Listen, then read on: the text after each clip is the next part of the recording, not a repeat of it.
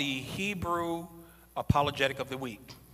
And the Hebrew apologetic of the week is Is Mother's Day pagan? It's Mother's Day's pagan. Now, we are told in the commandments, in the Ten Commandments, we are told to honor our mother and fathers. Is that correct? That's part of the Ten Commandments. We are to honor our mothers and our fathers. Now, before I go there, last week um, or a couple weeks ago, many of you, I've heard some of your responses uh, and our hundreds of followers, uh, our assemblies um, throughout the United States. Uh, I have heard some, um, they have uh, appreciated the last uh, Hebrew apologetic concerning how long would, it was the Mashiach's ministry, whom the world called Christ.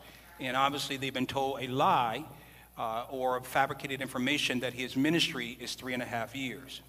See, most people, they believe what they know, but really don't know what they believe. Because Christianity have codified us in such a way that had made us inept, that has made us um, not only inept, uh, but has made us in made us docile. And so we don't study. We just have regurgitated dogma. And as a result, we are killing our sons and daughters because we are loyal to our father's doctrine. And no one ever asks a question, why? Or why do we believe what we believe? So we have a bunch of people who are not only indolent, but lazy enough, uh, lazy, uh, and they do not scrutinize the scripture or interrogate the scriptures um, because this is what my mama said, this is what my daddy said. And so these things are passed down from generation to generation um, without anyone asking, why do we do the things that we do? Why do we believe in the things that we do? But one thing about the awakening, it won't, it, it doesn't just provide a platform for you to ask questions, but it will ask you questions. It will question you. Why do you believe what you believe? And so everything is proven through Scripture. It's right there. But you see the danger of eliminating the Old Testament. When you eliminate the Old Testament, you eliminate the veracity of the Scriptures altogether. Because everything that, that whom the world called Christ said, everything is found in the Old Testament. Everything. In fact, in the New Testament, there are 250 what we call allusions or direct quotes from the Old Testament. I was on the air a couple of weeks ago talking to this pastor who is newly awakened, and uh, he mentioned about, uh, well, Christ gave a new command. He said, A new command I give to you. And I had to show him that he really was expounding on Matthew chapter 22, where Matthew chapter 22, he says that you will love the Lord your God and you will love your neighbor as yourself. And upon these two, you can hang. Not eliminate all the other laws, but you hang all laws upon those two. And so when Mashiach says to the disciples, I give unto you a new command that you love one another, I asked them, Is that a new command? It cannot be. Because in Matthew chapter 22, love Lord your God, well, he's quoting directly from Deuteronomy chapter 6, verse 5. Love your neighbor as yourself. He's quoting directly from Leviticus chapter 19, verse 18. He's quoting directly from the Torah. Why? Because if he makes his own words up, then he sins. He breaks a Deuteronomy chapter 4, verse 2. You don't add to the word, you do not subtract to the word. This is why Mashiach said, I speak not my own words, John chapter 12, verse 49, but him who sent me. This is why the Mashiach, whom the world called Christ, says in John chapter 7, verse 16, he says that I have no doctrine. The doctrine I have is not my own. So, what we have mainstream religions have tried to do is bring a demarcation or delineation between the Mashiach in the New Testament and then the Old Testament. But what you will find out is that um, he had no new commandments or no new laws. So that's why it's important to understand the Old Testament. The Old Testament. Why? Because in the Old Testament, it tells you that he would die in the middle of the week on a Wednesday. We've been teaching that for years, right? He died on Wednesday, he rose on Saturday. He is the Lord of the Sabbath. He rose on, and that is what the Old Testament says. This is Daniel prophesying about the Messiah. Do you know any other Messiah outside of whom the world called Christ? No. So Wednesday, he would die in the middle of the week, and his ministry would be 62 weeks.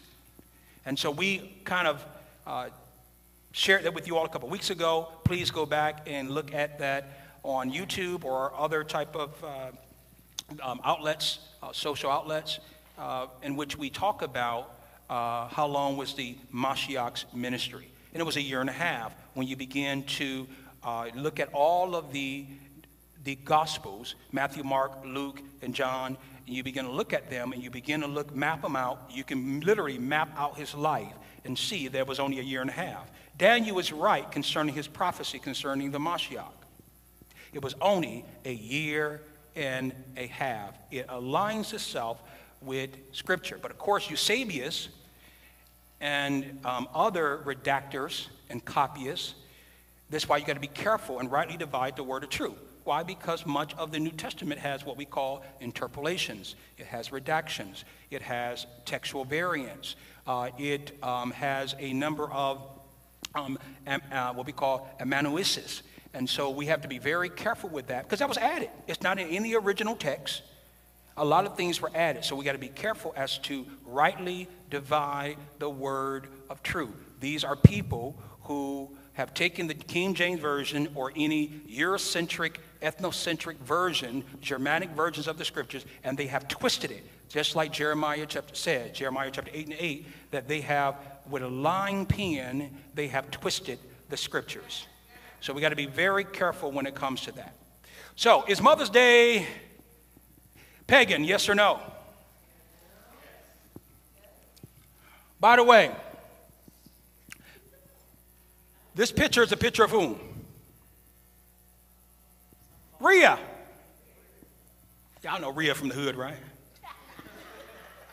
This is Rhea. So if you recall any of my lessons on Thanksgiving, on Christmas or any other day, notice that she is the wife of Cronus.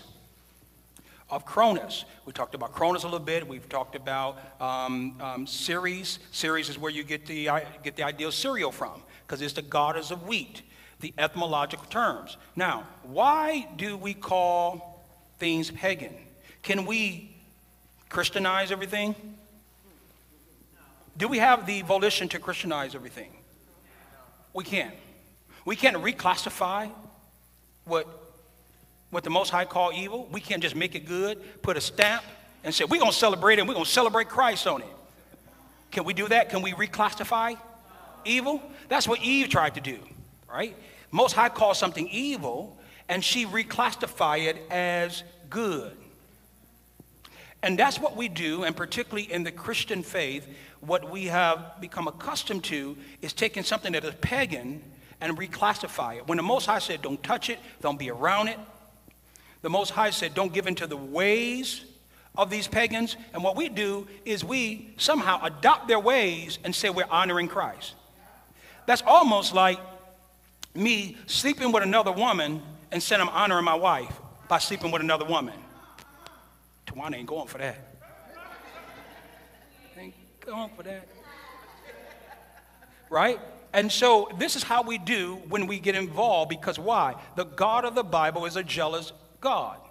You can't blend these cultural expressions, these cultural norms, these cultural habits, and blend them, that's called syncretism, and blend them with the ways of the Most High. It's syncretism and has nothing to do with the Bible has absolutely nothing. This is why he said, Don't give into the ways of the nation. Listen, this is a very narrow walk. That's why you're going to be hated for its namesake, or you're going to be ostracized, or vilified, or demonized, or looked at differently. But isn't it good to walk in the truth? Now, you must understand that it's very difficult to escape all paganism. You live in a pagan culture. But what you know better, you should be able to do better. Because where there's no law, there's no sin. And you are only judged by what you know. Numbers chapter 15.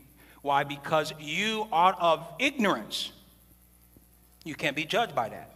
That's why Christ have come to be an atonement for those individuals out of ignorance. When we look at Matthew chapter 5, he talked about the least of who's going to be in the kingdom are those who don't know the law, so they don't teach the law. They're going to be least in the kingdom. But those who are going to be great in the kingdom are those who know and those who do. Now, so that's important. But paganism has run rampant. And we must understand that the Most High wants nothing to do with paganism because what it is is to worship of other gods. It's what we call monolatrous henotheism. Monolatrous henotheism says that I, although I honor one God, I do not deny the existence of other gods. So, Mother's Day go all the way back to Greek and Roman traditions. This is when they worship and honor the Queen of Heaven. Wait a minute. Where does that term sound familiar? The Queen, again? Yes. So Easter as well is the Queen of Heaven. is the Queen of Heaven. Next one. is the Queen of Heaven. And so if you celebrate traditionally, or if a celebration is traditionally honored by man, on a Sunday, most likely it's pagan. Because it is paying homage to the sun god. This is what Constantinus, who's the real founder of Christianity, um, Constantinus, Constantinus made Rome a Christian system, but didn't stop worshiping Mithra or Sol Invicti out of the night that covers me, black as the pit from pole to pole, I think whatever gods may be, is sun worship. It all goes back to worshiping of the sun. This is why the church eventually, and by their own admission, the Catholic Church switched the Sabbath from a Sabbath, what our traditional seventh day, to the first day of the week or Sunday. And it cannot be justified biblically. Well, people say, well, they, they came together and broke bread on the seventh day, I'm sorry, on the first day of the week. Well, it also says in Acts chapter 2 that they broke bread every day. We know that it was Mashiach custom, Luke chapter 4, verse 12, to go and worship every Sabbath. So, what would Jesus really do? It was his custom to worship on the Sabbath. The Catholic Church, by their own admission, said we, and our own volition, we had our, through our own latitudinal, I was going to say something else. But they had the audacity to change it. Why? Because it fits within the syncretic system of honoring the sun. Uh, so you will find if there, you can think of now a number of man made holidays that are on Sunday. If it's on Sunday, chances are it is pagan. Father's Day is on what? On what? On a Sunday. All right, on a Sunday. You all are well read. So let's go through this really quickly um, so that you can see whether or not it is pagan or not. Is Mother's Day pagan? Now, didn't Apostle Paul say we are to honor our mother and father that our days may be long on the earth? Are we to honor our mothers and fathers? Absolutely, positively, unequivocally, without question, without doubt. We are to honor our mothers and fathers. But you see, that's why Mashiach told the woman from Samaritan, from Samaria, he said, You know not what you worship. We are in a system that we don't know what we worship because we don't question anything. And things are passed down generationally that they have now have this residual impact and nobody nobody does the research anymore. Right? Um, the illiterate for the 21st century will not be those who cannot read or write, but individuals who have an inability to unlearn all the lies that's been told to them. And people hate the fact when you come against their traditions. It's called cognitive dissonance. Here's what Mashiach said You love your tradition more than you love the truth. Cognitive dissonance is when I give you irrefutable evidence that what you are worshiping, what you are practicing, what you are observing is pagan. I give you empirical, testable, definable, rigorous research, shrewd scholarship. Here are all the facts, smack dab in your face, and you still become dismissive. People use ad hominems, which means they go on attack. It makes them severely uncomfortable because it goes to work against their theory. Because we have nostalgia with these holidays. We have memories of mama and memories of those things, but it's linked to something more sinister, something more nefarious, something more iniquitous that you, beyond what you can even imagine or think. Watch this. So, Mother's Day, of course, date back to ancient cultures in Greek. It's the mother goddess of heaven, as we know, and is the goddess Rhea. She's known as the mother of all gods. Again, the wife or of Cronus. She is the mother of all gods. It goes back to that. These practices didn't just come in with the forefathers of this country, or I should have said the four um, stillers of this country, but anyway. But the forefathers of this country, this goes all the way back to Greek and Roman systems. Now, nothing wrong. I wish my mother was still here to give her flowers, um, to take her out to eat, to um, love on her, but that should happen regularly. But when it comes to these systems that has been designed, they are again are more iniquitous and more sinister than what you and I can ever imagine. Let's continue. So similarly, we have a three-day Roman festival, of course, in March, and this goes all the way back to 250 BC, that really stem from the queen mother of heaven that we read about in Jeremiah chapter 3, we read about in Jeremiah chapter 10. All throughout the scriptures, we read about this queen of heaven, right? This is what the pagans and the heathens, this is what they amalgamated within their culture. But this is, we look at the Roman goddess Magna Mater, and then we look at the Greek Cybele, Cybele, Cybele, only thing what the Romans did, they took the Greek pantheon of gods, and they gave them a new name. That's all they did. So they're really the same person. They just gave them a new name. And so this was the mother of God, of God is what they worship in uh, 250 before the Common Era. Let's go. So many, of course, countries throughout, um, the mother goddess as well, goddess Rita, Rhea. So many countries throughout the world, of course, vote this day or some case, or two days or more of honoring their mothers. Now, nothing is wrong with honoring your mothers, as I said before. It is honorable. In fact, it is commanded to honor your mother and your fathers. Let's go. So, one of the things they did, of course, as Christianity began to spread throughout uh, the, the centuries, um, they began to celebrate the mother church. You ever hear of the mother church, right? In terms of Catholicism and the Catholicity you will find that we replaced the pagan traditions of honoring the mythological goddess. Of course, on the fourth Sunday in Lent, this is the weeping for Tammuz. Weeping for Tammuz. We find that in the scriptures as well. Tammuz is the son of Nimrod, right? The son of Nimrod um, in Semiramis. And it became known as the Mothering Sunday to show appreciation for mothers. And guess what they gave them? Gifts of the mothering cake. That sound familiar? Now, it should be found in scriptures because this is not something new.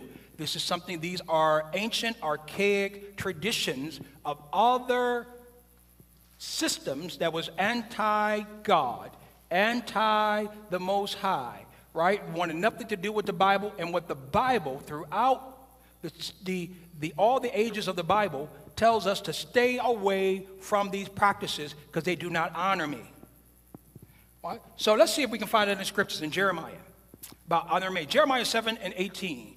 And the children gather wood, and the fathers kindle fire, and the women knead their dough. To make what? Cakes to who?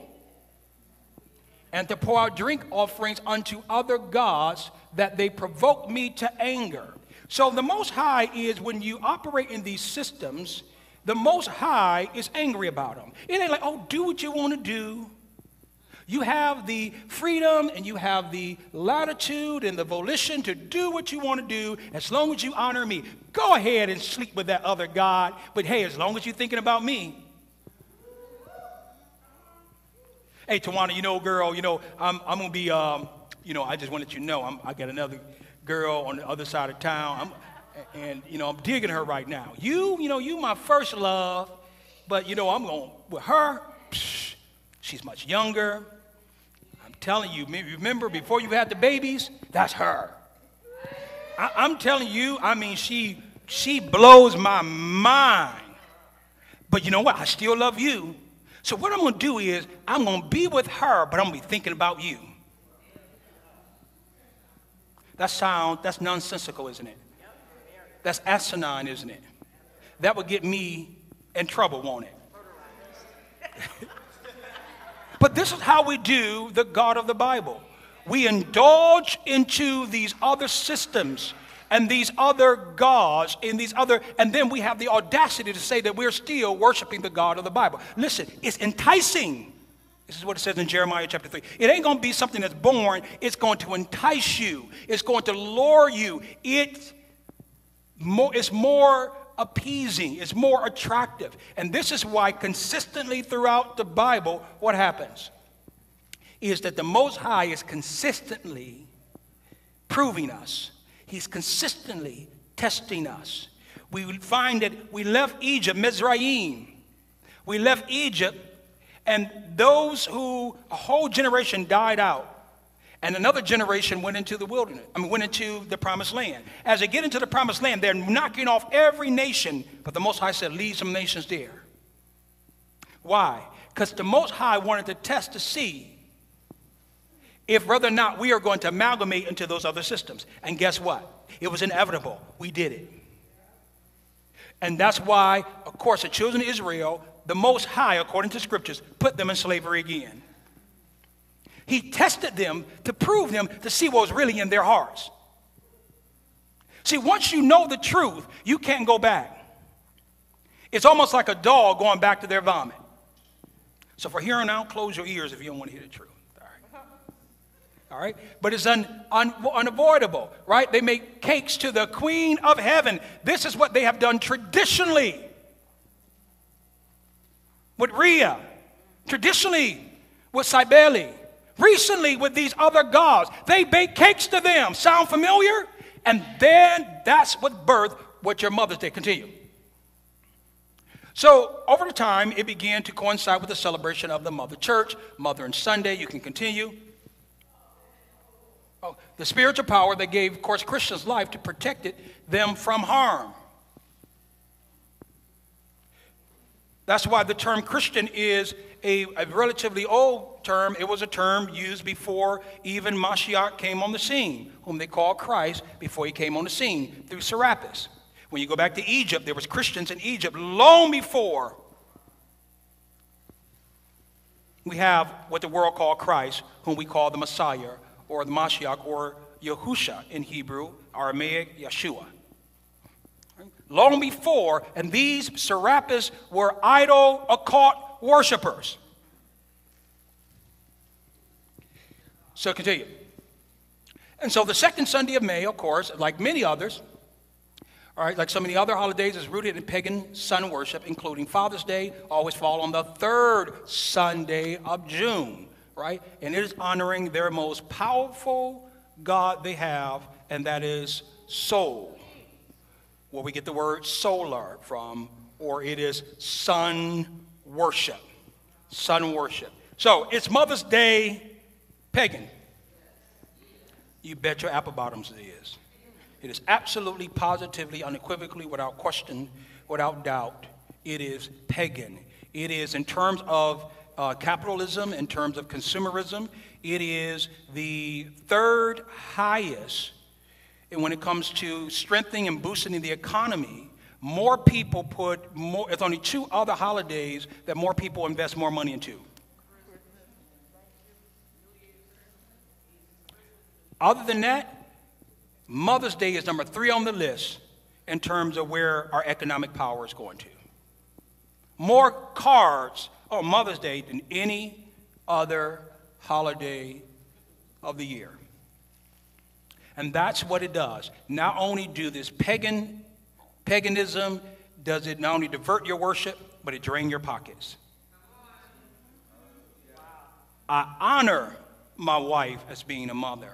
I honor my, my mother isn't here, but I honor my mother in law. Um, I honor the imams and the mothers of this assembly and all the assemblies of the Great Awakening assemblies. I honor all mothers. They should be honored. But when you celebrate and you observe Mother's Day, you're getting involved in something that, is, that you don't really have the knowledge or of what you are involved in. Because it goes back to paganism. That is a very short version of it. We can spend eight weeks talking about the pagan roots of Mother's Day. If you feel like, man, or you can't get, I can't do nothing, we can't do nothing right, then that means, listen, you're going through conviction. Condemnation, conviction make you feel like giving up. I'm sorry, condemnation make you feel like giving up. But conviction make you feel like getting up. The Most High is a jealous God. He doesn't want you worshiping anything that's going to divert your attention off of Him. It's not that people don't have access to the truth, it's just most people don't want to hear it. Because it blow their religious illusion. That's why the scripture talks about a strong delusion. People rather believe a lie than the truth, and they'll kill you. They'll kill you over a lie. And so that's going to be the biggest threat of our, our generation. Is the lies that's been told to us. And people will defend that lie over the truth. Because I understand it has nostalgia, it has sentimental value. Christmas is associated with mama and daddy and the Christmas tree and waking us up and eating good bacon in the morning and all those things. And when you when you you attack that, it's almost you're attacking them. Because they are deeply enmesh with those sentiments and those expressions. It's their memories, and mama's gone now, and so that's an attack on mama. And they don't say that, but subconsciously, it's an attack on mama.